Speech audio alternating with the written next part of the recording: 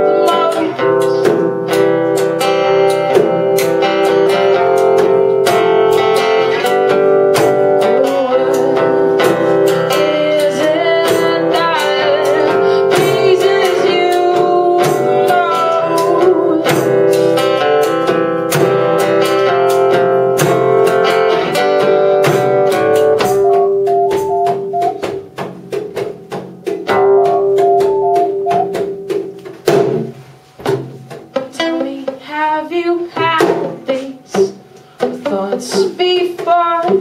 Or is this just out of the blue?